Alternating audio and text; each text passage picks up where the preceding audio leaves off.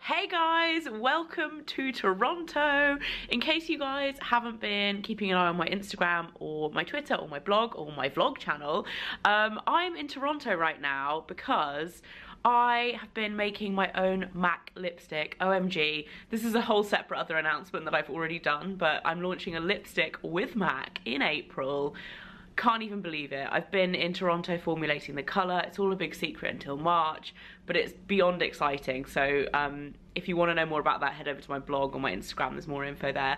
But whilst I was in Toronto, I thought, why not do a real-time haul? I've never been to Canada before.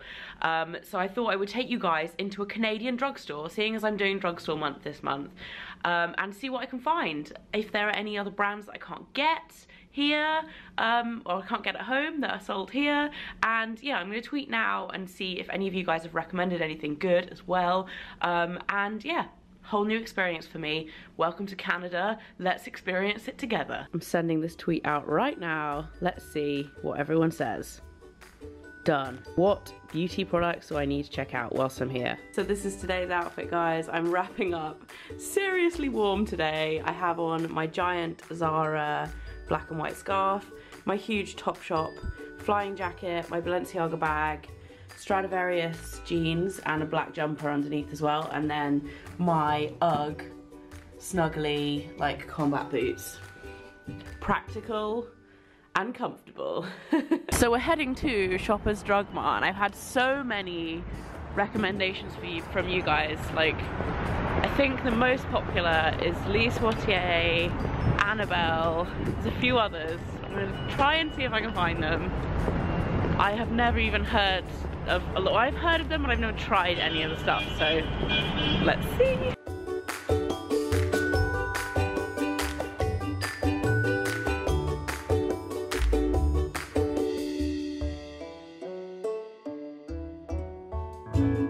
Okay, so this is what everybody's talking about. The gel lip liner, apparently. Apparently this is the number one kohl eyeliner in Canada. Maybe we should try that. So these were recommended by so many of you guys, the Annabelle Big Show Gel lip liners. So I'm getting two colours of these, I think. There's actually quite a lot of colours. But I don't really wear red that often, so I think I'm gonna get the nudes. So this is another brand you guys have been suggesting, Quo by Orly. Never heard of it, but they have some really nice colours. I really like this one and this one, although this looks like it's been used or just sitting here for a long time. So Marcelle is another brand that everyone's been recommending, but I literally have no idea what to try. so I guess I'm going to take a bit of a guess. The blushes look nice over here. And maybe micellar water could be good.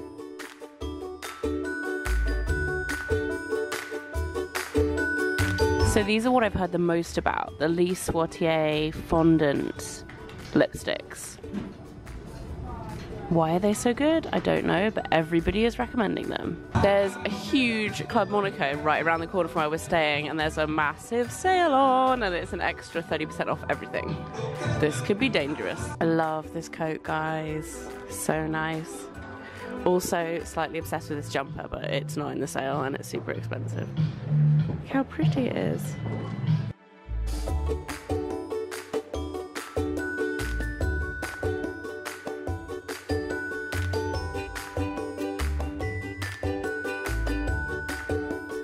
made a little purchase from Club Monaco, just a little one.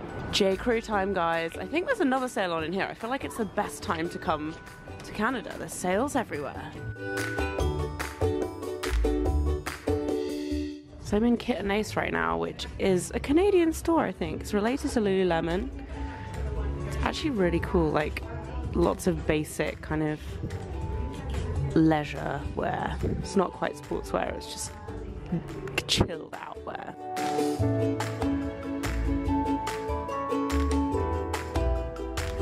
So I'm looking rather disheveled right now because I just tried on a load of jumpers in Aritzia. But so many of you guys were tweeting me about Roots that we had to come in and get sweatpants. It's so Canadian right now. Everything says Canada and Roots on it, but I may have bought some sweatpants. Okay, so I'm actually filming this section of the video the next day because by the time we got back last night it was dark and the lighting in this hotel room is not great anyway. I'm using natural light, um, so I had to film in the light, otherwise you literally would not be able to see me. So um, yeah, it's the next day and I'm going to talk you through a couple of things that I got, or everything that I got. I actually am going to combine all of this into um, one video and have like the clothes as well as the drugstore makeup. Initially I thought it was just going to be um, a drugstore haul or a beauty haul, but there ended up being so many awesome recommendations from you guys of other things to pick up from Canada that I feel like I'm just going to put them all together and have this as one big happy Canadian haul. As you guys know, it's my first time here, so I was really excited to like track down some things that um, I've never seen before. There's so much crossover between the States and Canada. I felt like there wasn't going to be like a lot of things that I couldn't get there, but I actually ended up finding quite a lot of brands that I'd never heard of or never tried or had heard a little bit about. Um, but because I've never been to Canada, I never got the chance to try. Um, the first place I went was Shoppers Drug Mart, which um, again, with the lighting situation here, this like anything white in this video is going to look insanely bright. I'm sorry about that. Like the lighting is not ideal, but we'll get through it, guys. We'll get through it. Hotel lighting. So Shoppers Drug Mart, I thought this was going to be like really low end based on like the look of the store and the name. I was like, it's going to be like Superdrug kind of thing.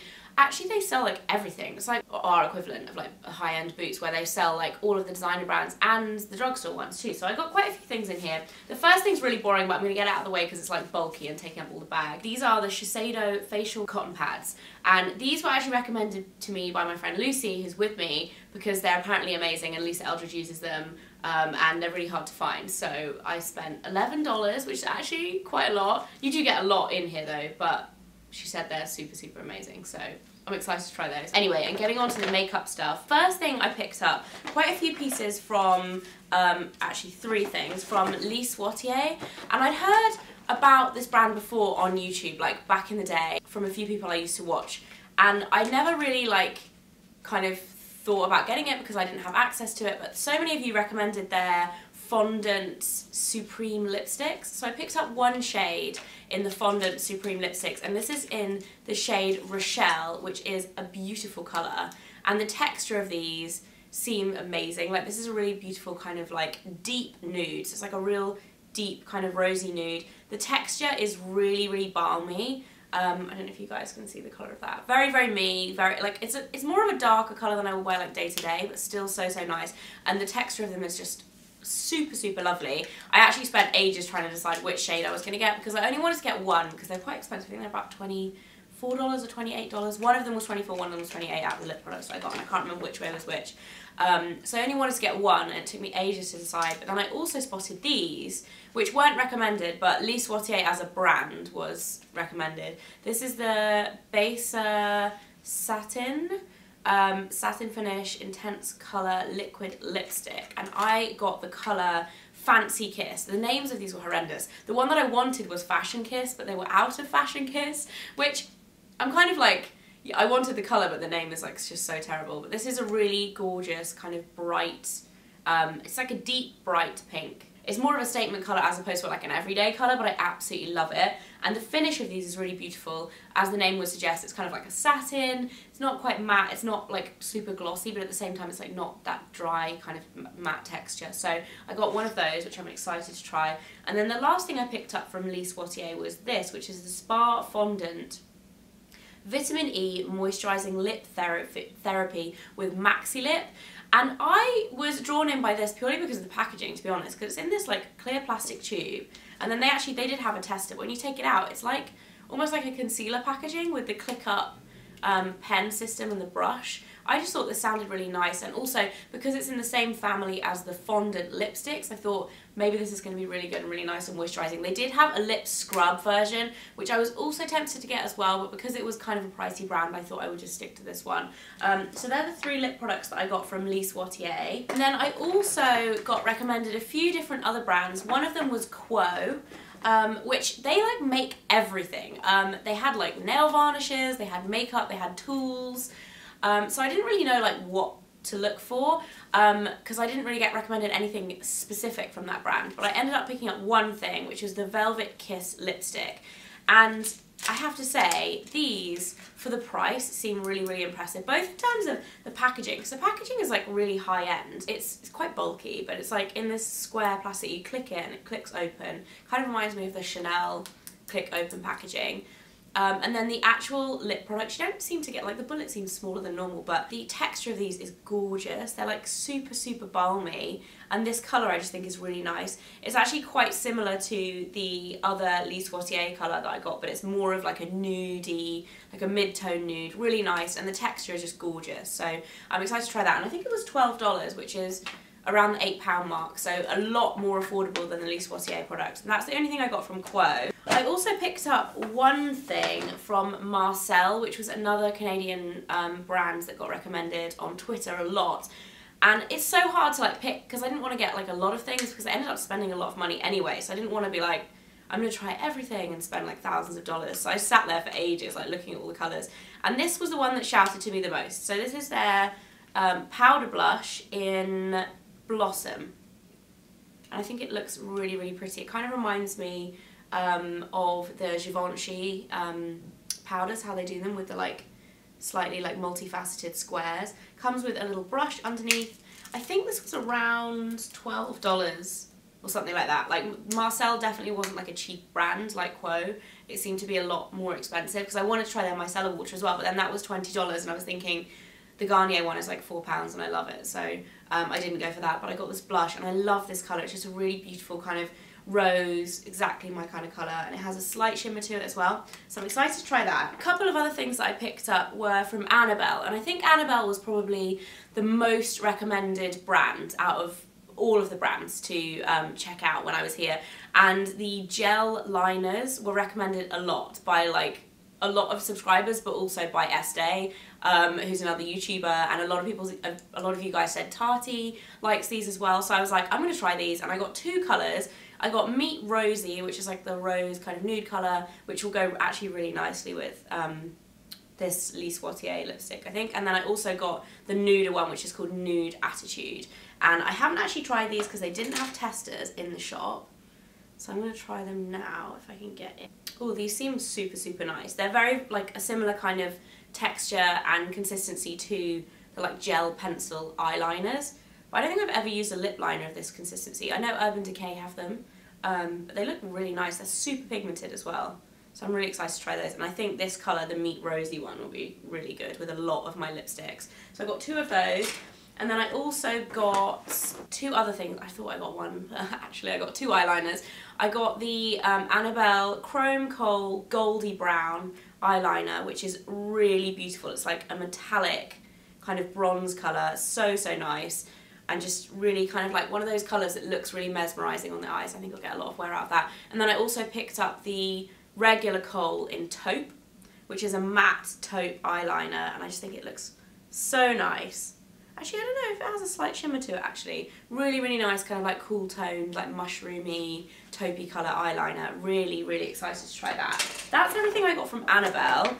And then the other stuff that I picked up was from brands that I knew already, but that I hadn't seen these products in the UK. So these are probably out in the States already as well, but we don't have them in the UK yet. The first one is the Maybelline Dream Cushion Foundation. I went for the classic ivory colour um, which is 20.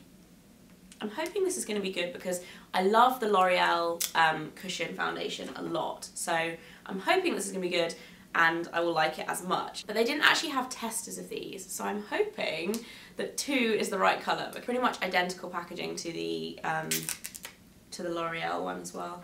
This looks like a good colour actually. Oh my god, yes, perfect colour. This seems really nice. I might even like this more than the L'Oreal one, but then saying that, it could be exactly the same and I could be talking rubbish. Super excited for that. I'm glad I got that as well because I almost didn't pick it up because it was like $18, which I thought seemed like a lot, but then the Canadian exchange rate is pretty strong right now. I think it's like 1.6 Canadian dollars to the pound, so I feel like it will be about £10 when it comes out in the UK, so it's probably like a similar kind of price, maybe a little bit more expensive. And then I also picked up the CoverGirl TruBlend Face Primer for Dry Skin because these are meant to be really nice and we obviously don't have CoverGirl. We have Max Factor and they bring out a lot of the same products but I don't think we have the equivalent of these yet. Trying this on my hand, this actually feels super, super nice. Like really balmy and moisturising, so I'm excited to try that. And I love the packaging, it looks really high end. And then I also picked up some Seche Vite products. I got the Seche Base. I'm sure you probably can get this in the UK, but I've never seen it before. And I love the Seche Vite top coat. So I picked up the Seche base and then I also picked up a new Seche Vite top coat because I'm nearly out of mine.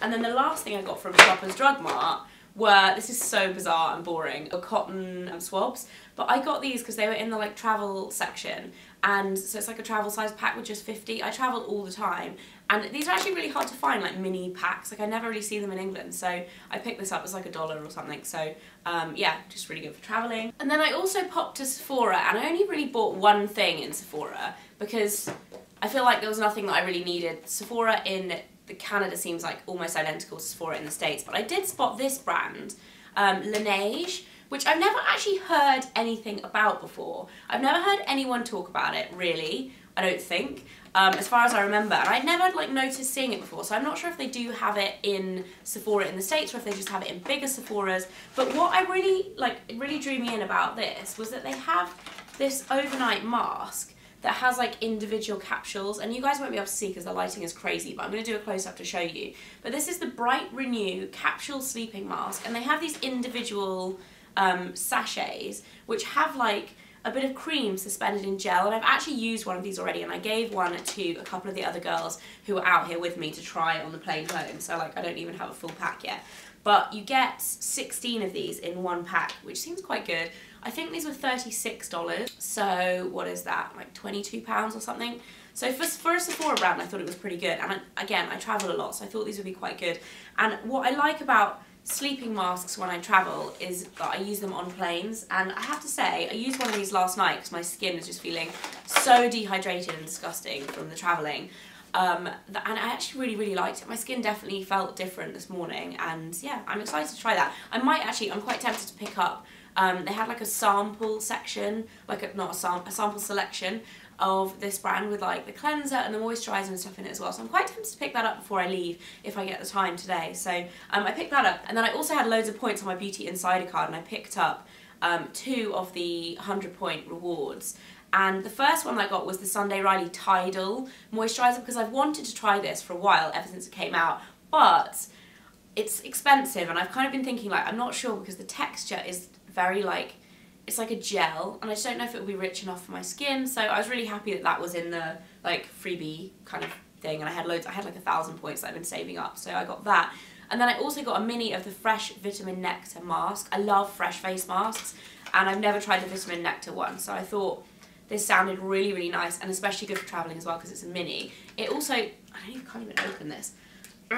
It smells like really really fruity and nice smells like a fruit smoothie. So I'm excited to try that as well. Haven't really heard anything about it, so I'll let you guys know if that is amazing or not. So that is everything on the beauty front. After that, I also popped to Roots because so many of you guys recommended checking out their sweatpants that I thought I can't leave Canada without going here because it is like a properly like Canadian brand. Like most of their clothes say Canada on the front.